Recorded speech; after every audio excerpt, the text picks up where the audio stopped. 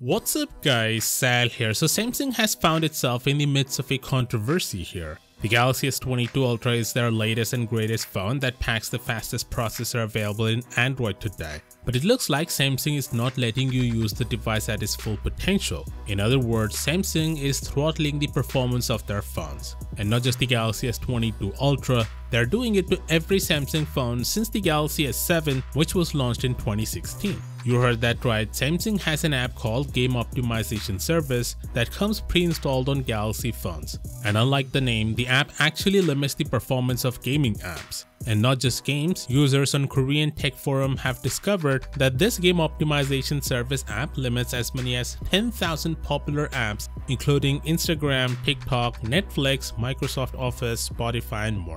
And interestingly, there are no benchmark apps are included in the list.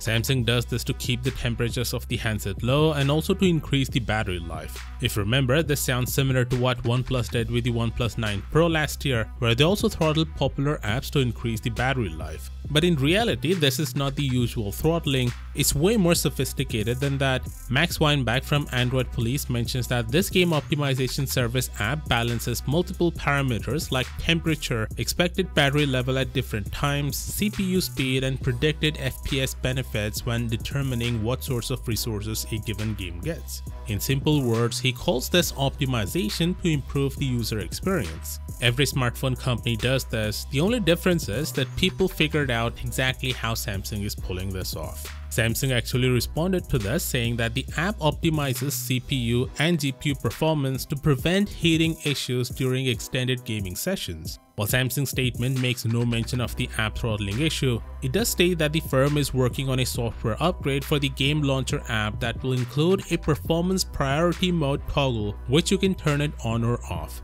You'll be able to access this toggle in the Game Booster lab.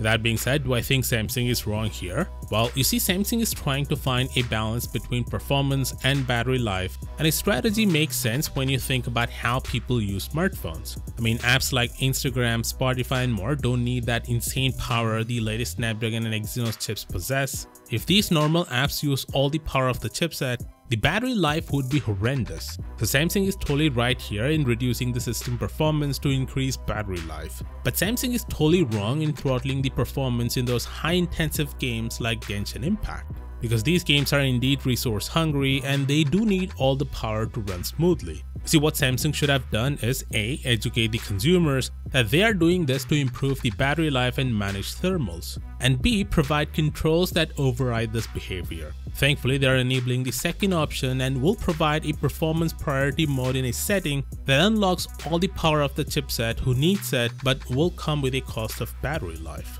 Anyway, let me know what you think about this. Do you think Samsung's approach is the right one? And will you turn this toggle on when it's being made available for faster performance but get slightly worse battery life? Let me know in the comments. And as always, I'll see you tomorrow. Peace out.